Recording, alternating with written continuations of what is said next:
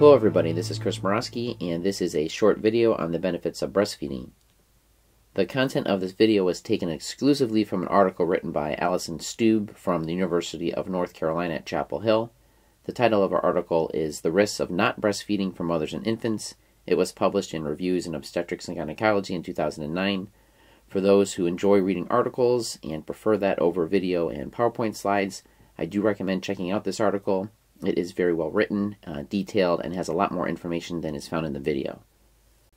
The goals and objectives of this video are to review the national guideline recommendations for postpartum breastfeeding, to correlate the transfer of specific components of breast milk from the mother to the infant with improved health outcomes for the infant, to describe the improved health outcomes seen in mothers who breastfeed their infants, and to understand the importance of physician support of breastfeeding and its impact on women's decisions to choose breastfeeding for their infants. First, moving on to the national guidelines, the American College of Obstetricians and Gynecologists recommends that women exclusively breastfeed their infants six months following delivery. The American Academy of Pediatrics and American Academy of Family Physicians take this one step further. They also recommend six months of exclusive breastfeeding, but they also recommend continued breastfeeding while introducing complementary foods until 12 months or longer following delivery. The question is how are we doing? And the answer really is that we are falling far short of these guideline recommendations. Only approximately 75% of all infants are ever breastfed once since delivery. Only 31.5% are exclusively breastfed at 3 months, and only 12% are exclusively breastfed at 6 months. What we can see is that the variations in breastfeeding rates are closely tied to physician and hospital messaging, practices, and support related to breastfeeding. What are some of the improved health outcomes for infants? We'll review these in the next few slides. There is an increased protection from infectious disease seen with breastfeeding.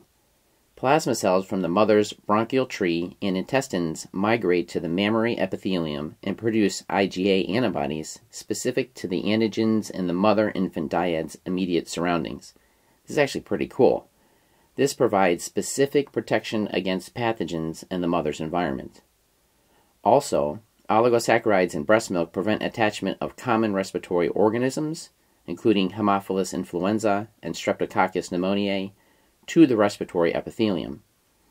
Glycoproteins in breast milk prevent binding of intestinal pathogens, including Vibrio cholera, E. coli, and rotavirus.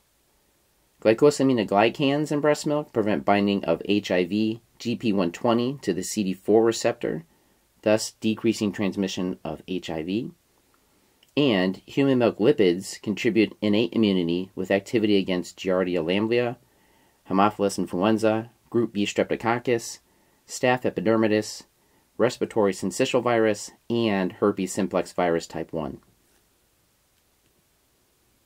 Looking at some of the infections and some of the research clinically that um, documents this immunity. First, otitis media. Approximately 44% of infants will have one episode of otitis media in their first year of life. The risk of otitis media among formula fed infants is doubled compared to infants who are exclusively breastfed. Human milk oligosaccharides and antibodies to common respiratory pathogens in the infant's environment are thought to provide protection from infection. Next, lower respiratory tract infection. In a meta analysis of seven cohort studies of healthy term infants, Bachrach et al. in 2003 showed that infants who were not breastfed faced a 3.6 fold increased risk of hospitalization for lower respiratory tract infection in the first year of life compared to infants who were exclusively breastfed for more than four months. The majority of respiratory hospitalizations were from RSV. If you've done your pediatric rotation during the wintertime, you're going to see plenty of RSV. Interestingly, lipids in human milk appear to have antiviral activity against RSV. Gastrointestinal infections. In a meta analysis of 14 cohort studies, Chen and Howie in 2001 showed that infants who were formula fed or fed a mixture of formula and breast milk were 2.8 times more likely to develop GI infection than those who were exclusively breastfed. In a study of over 17,000 infants, Kramer et al. in 2001 showed that infants in the control group, which had a 6.4% exclusive breastfeeding rate at three months, so it was low, these infants were 1.7 times more likely to develop GI illness than those in the intervention group, and the intervention group had a 43.3% exclusive breastfeeding rate at three months. So, again, showing the impact of exclusive breastfeeding on decreasing GI illness. In terms of necrotizing enterocolitis, among preterm infants, not being breastfed is associated with a 2.4 fold risk of necrotizing enterocolitis with an absolute risk difference of 5%. The case fatality rate of NEC is 15%, so this absolute risk difference of 5% is clinically significant. And I can tell you, with all the neonatologists that I work with nowadays, focusing on mother's milk and breast milk, decreasing necrotizing enterocolitis is very, very important in this premature population. There's also improved immunity um, for babies with um, prolonged and exclusive breastfeeding. Formula fed infants have a higher pH of their stools and a greater colonization with E. coli, Clostridium difficile, and Bacteroides fragilis. Bioactive factors in human milk appear to facilitate a more favorable gut colonization in breastfed infants. Oligosaccharides, cytokines, and immunoglobulins regulate gut colonization and development of gut associated lymphoid tissue and govern differentiation of T cells that play a role in host defense and tolerance. And it's these differences in the immune system differentiation which may underlie the higher incidence of allergic disease in formula fed children.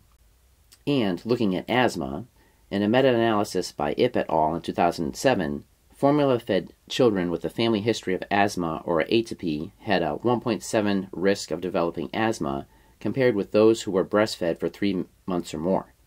In another separate study, exclusive breastfeeding for less than three months compared to exclusive breastfeeding for three months or more was associated with a 1.9 fold risk of developing asthma among those with a family history of asthma or atopy.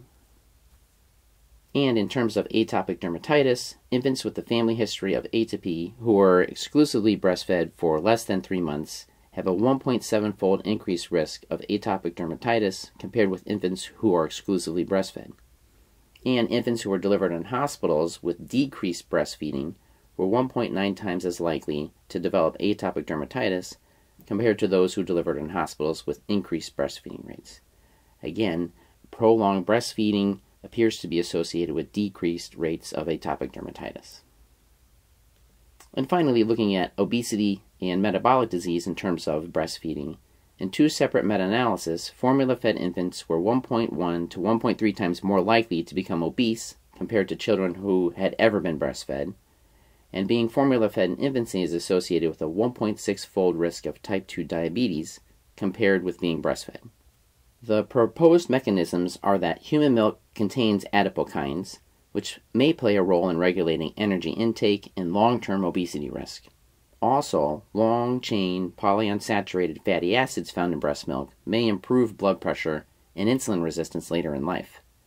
Certainly, there are also differences in composition of breast milk versus formula, associated lifestyle factors, and self regulation of intake by the infant, which may play a role in changing metabolic disease associated and around breastfeeding.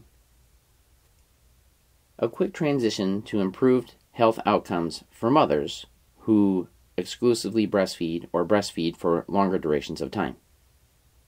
There is a known and decreased risk of certain malignancies for women who breastfeed. Lactation suppresses ovulation and leads to a lactational amenorrhea. Decreased ovulatory cycles are associated with a decreased risk of ovarian cancer. Lactation also causes terminal differentiation of breast tissue, which, following involution, removes these cells from the long term effects of malignant transformation. In a large longitudinal follow up study called the Nurses' Health Study 2, it was found that never breastfeeding was associated with a 2.4 fold increase in the incidence of premenopausal breast cancer compared to ever having breastfed. Also, Never breastfeeding was associated with a 1.5 fold increase in the incidence of ovarian cancer compared to women who breastfed for greater than 18 months. There is also a large impact of lactation on maternal metabolism. Breastfeeding poses a 500 kilocalorie per day metabolic burden on mothers. This can contribute to an increased pregnancy weight loss for mothers who breastfeed. breastfeeding also is associated with more favorable glucose levels in the mother, lipid metabolism, and blood pressure. In 1993, Dewey et al. showed that women who breastfed for more than one year lost, on average, 4.4 pounds more than women who breastfed less than three months, and this difference persisted for two years postpartum. Again, returning to the Nurse Health Study 2, the risk of type 2 diabetes 15 years since birth was 1.7 fold higher among parous women who never breastfed compared to those who breastfed for a lifetime total of two years or more, and the risk of myocardial infarction 15 years since birth was 1.3 fold higher among parous women who never breastfed compared to those who breastfed for a lifetime total of two years or more. And just to end on one small point about the role of the physician in promoting breastfeeding. The things that physicians can do to promote breastfeeding include providing education and counseling during prenatal care, avoid participating in formula marketing campaigns and programs, Physicians can also encourage immediate skin to skin contact, feeding on demand, and rooming in with the infant following delivery. And finally, in a leadership role, physicians can support a hospital culture that promotes breastfeeding. All of these actions have been shown to greatly increase the likelihood that women will choose breastfeeding for their infants and exclusively breastfeed their infants for longer durations of time, which, as we've shown, improves health outcomes for both the moms and their babies. And that brings us to the end of the video. As you can see, we did review the national guideline recommendations for postpartum breastfeeding. We also correlated the transfer of specific components of breast milk from the mother to the infant with improved health outcomes for the infant. We described the improved health outcomes seen in mothers who breastfeed their infants, and there was an understanding of the importance of physician support of breastfeeding and its impact on women's decisions to choose breastfeeding for their infants. Thank you for taking the time to watch this video. Hope you found it educational. Good luck with your studies, and we'll see you soon in class.